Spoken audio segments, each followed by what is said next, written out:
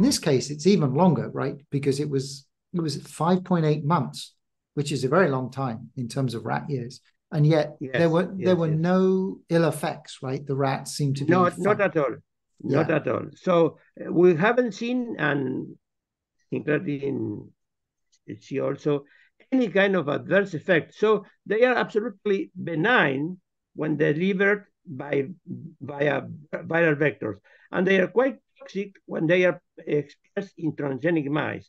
We don't know why. We don't know why. Perhaps because in transgenic mice they are present when they are embryos, and perhaps they have they leave some kind of imprint, imprinting mm. that uh, affects the animal later and sensitizes the animal to the gene. We don't know. And it's very difficult to know this mechanism because everything is very complex in vivo, very, very complex. But we, mm. we know the result. We really seems, I mean, clear to everybody now, to, to most researchers, that the transgenic mice do not work. The, the first experiment done with transgenic mice was, was quite promising, was uh, done in 2016 by uh, Juan Carlos Ispizua Belmonte but he used transgenic mice were, were that were progeric. I mean, they were mice transgenic for other genes too, that uh, a, mouse lives three years. These mice aged and died in four months. So they have a very precocious um, aging process. It's like people suffering from progeria, they live much shorter than normal people. So these are pathological models. Yamanaka genes there worked very well. It did not rejuvenate the animals, but prolong their lifespan twice. But twice was in, instead of three months, six months, which is very short from hmm. three years. So our, the lesson was, the take-home message was that uh, pathological models have been used with care. I prefer to use always rats without any treatment, natural rats, just the I, know that in my rats there is nothing, not, nothing strange, nothing pathological. They are just rat taken from the our animal quarters without any kind of treatment. So uh, this is I really, uh, have confidence in this kind of rats. I am a, bit, a little bit suspectful of uh, pathological models, even if they work, because they are pathological. When these uh, experiments were tried in normal mouse, mice, I mean animals that live three years, the treatment that worked very well in Piso Belmonte's hands did not work, literally did not work, or worked marginally in normal mice. So the lesson was, well, do not trust too much pathological models. Try to use normal animals. So they were transgenic mice, but they had the TET on, TET off. And if it was expressed temporarily, then that seemed to work, or at least yes, it, exactly. Yeah. Well, this is what people is forced to do. They cannot express the genes continuously because they will get tumors. So what mm. they do is to do uh, interrupted uh, reprogramming. Mm. So they express the genes, the Yamanaka genes, three days. Mm. Then they silence them with doxycycline or removing doxycycline because the system is regulatable as our vector and then they let the animals rest for five, five days. Then again, they activate the genes, the Yamanaka gene, for three days. And it seems that uh, uh, when reprogramming begins, the first uh, epigenetic marks that go, that are removed, are the age marks. But the identity marks remain for a longer time.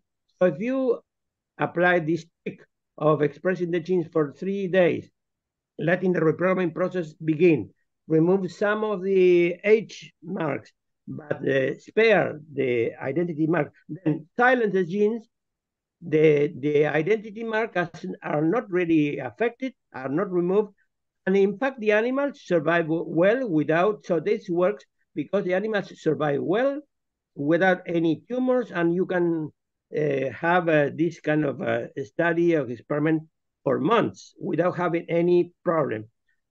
It has been done. The problem is that after four months of treatment this way, with this uh, uh, cyclic partial reprogramming, this is the technical name, they are, and then they compare control animals with the animals treated this way, and there was no rejuvenation. They tried, they they checked the hippocampus, the memory. So they have they had they got a marginal improvement, quite marginal.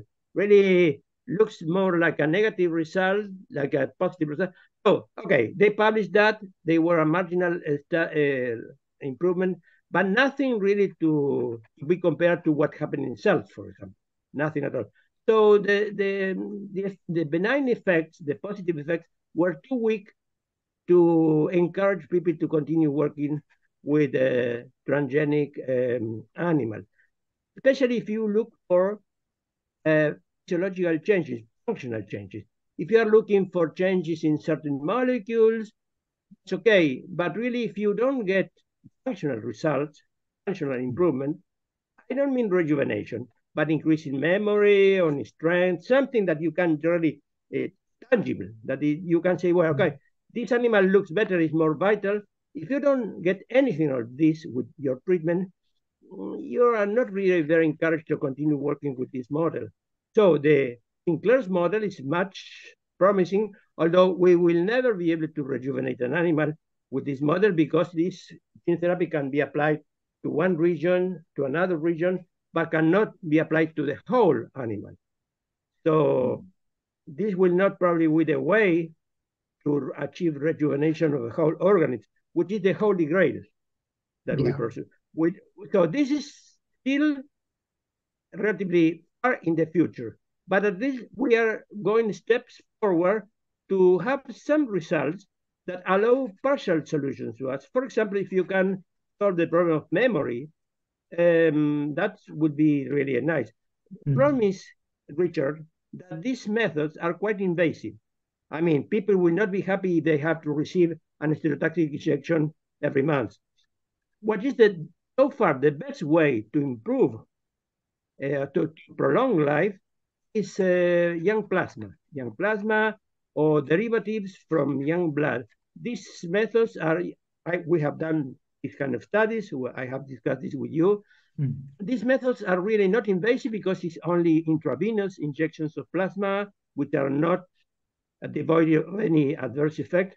And they really have been shown by many uh, researchers that they prolong life. They prolong life. They do not rejuvenate.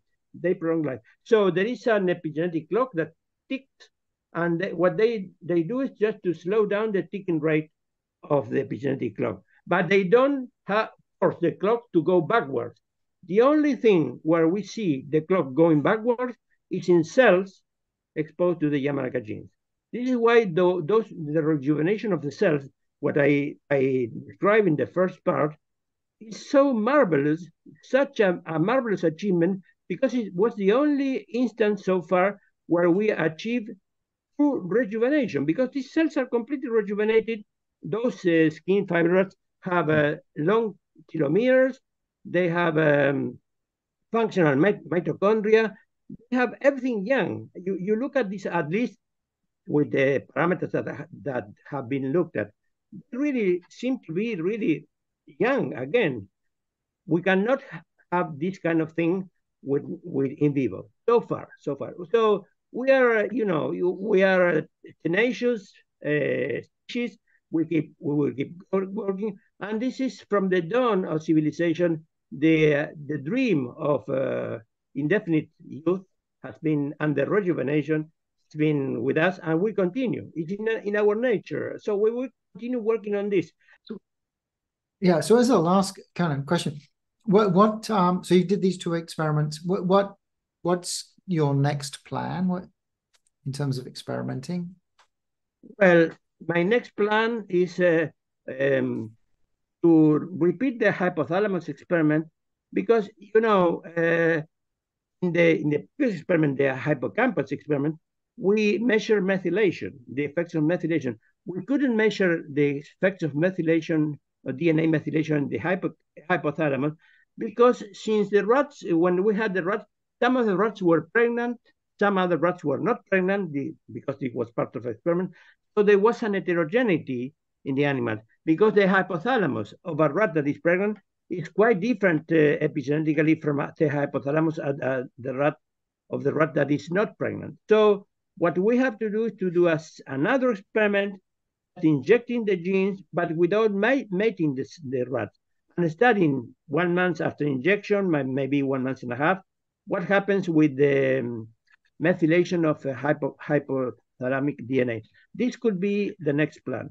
I really am hopeful that other researchers got interested in this because I myself in Argentina is limited what I can do. Uh, the idea will be really to, ma to magnify this uh, effort by getting the interest of other researchers right, with more, more resources than me, certainly, trying to do the same thing. Probably they will do it in mice because in the northern hemisphere, having having uh, rats is very expensive because the rat is 10 times larger than a mouse. And rat is, for many experiments, brain experiments, is better than mice. This is really my experience. I have been working with rats for many years, and I have this. Uh, this is my learning. I have worked with mice, but mice uh, are less less smart, less smart than, than rats. So for cognitive experiments, I prefer really rats. Right. Okay, that's really interesting. So uh, yeah, anything else uh, otherwise, yeah, uh, we, you've been very generous with your time, and uh, thank you very much for talking uh, through those well, experiments. Let me mention you two things. Mm. These are my plan. What are my my hurdles? Two. Okay. My students, the ones that are very very trained in this in this uh, studies, are getting uh, um, have received had got their PhD degree so when they, this is the, the objective of they, them coming to my lab, then they move probably uh, overseas to, to mm. continue their career. I lose them. And this is a five years of training that I have to start again with a new person. And this is a, going through this period of uh, three of my students have left very trained because it's just uh, they are going uh, abroad. And I have to recruit new people this is one of the problems. And the other problem that everybody has, and we had a lot of these problems in Argentina, is funding. Mm. Because the, the, you probably have read about the economic situation in Argentina, which is appalling. So funding really, I live from the funding that I received from internationally, because the hmm. funding that I could get from Argentina is very little at this point. Perhaps in the future will be better. And I am 72, so I have to act uh, without much delay yeah. Uh, yeah. Still, I still still be uh, in in good control of my uh, mental faculties. I mean, I think that I still uh, saying mm-hmm. um, uh, things that are reasonable and doing productive research. But you know, biology is biology, and maybe in six, five, seven years, I will begin to decline mentally. This is something that I know uh, for certain. So I, I will try to do as much as I can now and try to leave a sort of legacy the future. This is why I really am very interested to get the interest of other researchers, younger researchers that can just take this uh, legacy and go further. Yes, I certainly hope so. I, it's so interesting and rejuvenating. Well, rejuvenating or improving the factors of the brain as we get older is just uh, so important. Yeah. Uh, so yeah. Thank you so much for uh, your work and for explaining that today. Thank you. Thank you. I'll see you soon.